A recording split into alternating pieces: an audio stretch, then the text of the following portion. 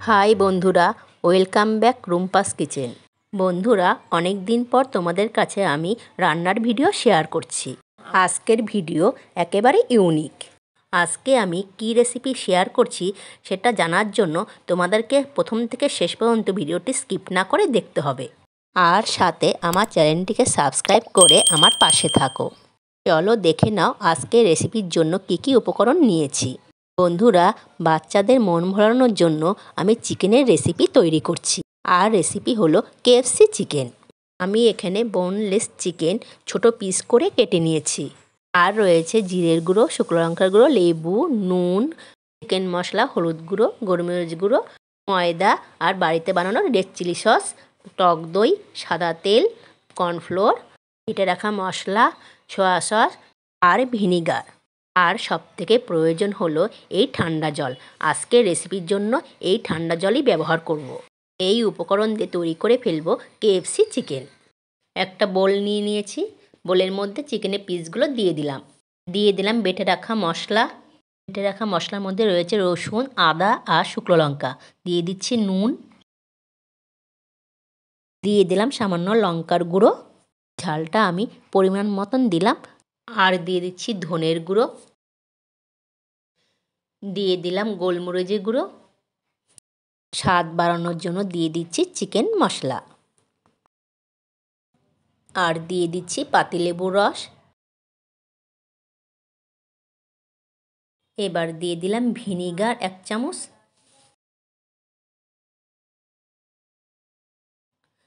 আর দিয়ে দিচ্ছি red chilli sauce দু চামচ মতো। এরপর দিয়ে দিলাম টক দই। আর দিয়ে দিলাম সয়া সস।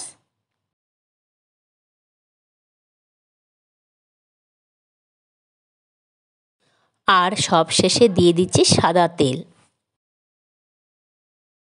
এবার সব মিশ্রণ আমি ভালো করে মাখিয়ে নেব। আপনারাও কিন্তু এইভাবে মাখিয়ে নেবেন। ভালো করে আমার ম্যারিনেট করা হয়ে গেছে। এবার আমি ঢাকনা দিয়ে ঢেকে কুড়ি মিনিট ডিপ ফ্রিজের মধ্যে রেখে দেব, যাতে চিকেনের সাথে সব মশলা ভালো করে মেশে। কুড়ি মিনিট পর ডিপ ফ্রিজ থেকে চিকেনের বাটিটা বের করে নিলাম। একটা বোল নিয়ে নিয়েছি, বোলের মধ্যে দিয়ে দিচ্ছি এক বাটি ময়দা। আর কিছুটা পরিমাণ কর্নফ্লোর দিয়ে দিলাম। সামান্য দিয়ে দিচ্ছি হলুদের গুঁড়ো আর দিয়ে দিচ্ছি এক চিমটি শুকনো লঙ্কার গুঁড়ো। আর দিয়ে দিচ্ছি অল্প পরিমাণ গোলমরিচ গুঁড়ো আর নুন। এবার সব মশলা ভালো করে মিশিয়ে নিচ্ছি। আবারও একটা অন্য পাত্রে আমি ঠান্ডা জল নিয়ে নিলাম। এবার এক পিস চিকেন এই মিশ্রণের সাথে আমি কোট করে নিলাম।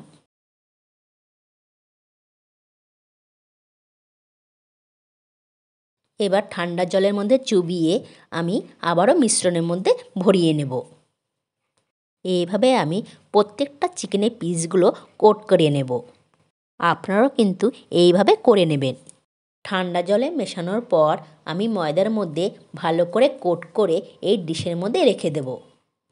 বন্ধুরা, সাধারণত কেএফসি চিকেন এইভাবেই বানাতে হয়। আমি আপনাদের সুবিধার জন্য আরও একবার বানিয়ে দেখিয়ে দিচ্ছি।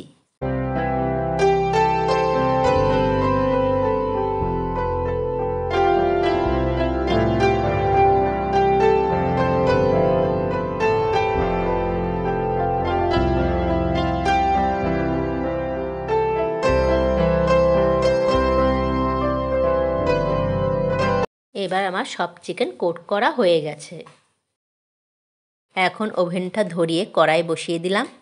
কড়াইয়ের মধ্যে আমি সাদা তেল দিয়ে দিলাম। তেল গরম হয়ে এসে এখন আমি এই চিকেনের পিসগুলো এক এক করে দিয়ে দিচ্ছি। ভালো করে আমি ভেজে নেব। এই চিকেনের পিসগুলো ডিপ ফ্রাই করে নিতে হবে। তাহলে খেতে মুচমুচে হবে। দেখুন, আমার লালচে করে ভাজা হয়ে গেছে। এখন আমি এই ন্যাপকিনের মধ্যে নামিয়ে নিচ্ছি। আবারও এক এক করে চিকেনের পিসগুলো তেলের মধ্যে দিয়ে দিলাম। এরকমভাবে প্রত্যেকটা চিকেনের পিসগুলো একই রকমভাবে ভেজে নামিয়ে নেব। দেখুন বন্ধুরা, আমার সবকটা চিকেনের পিসগুলো ভালো করে ভাজা হয়ে গেছে। দেখুন চিকেনের পিসগুলো কী সুন্দর লালচে রঙে রাখছে না? যেরকম কালারটা হয়েছে, সেরকম মুচমুচেও হয়েছে। খেতে বেশ ভালো লাগবে। ছোট থেকে বড়রা খেয়ে তৃপ্তি পাবে। সব সময় তো রেস্টুরেন্টে যাওয়া হয়ে থাকে না। তাই ইচ্ছে হলে বাড়িতে সহজ পদ্ধতিতে বানিয়ে বাচ্চাদের ও বড়দের খাওয়াতে পারেন। আমি সৌন্দর্য বাড়ানোর জন্য রিং অনিয়ন দিয়ে সাজিয়ে নিচ্ছি। আর রয়েছে সাথে রেড চিলি সস।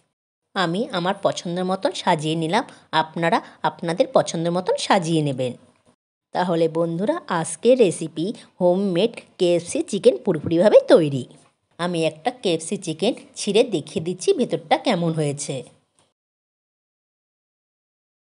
তাহলে বন্ধুরা আর বেশি দেরি না করে বাড়িতে এই সহজ পদ্ধতিতে কেএফসি চিকেন বানিয়ে ফেলুন।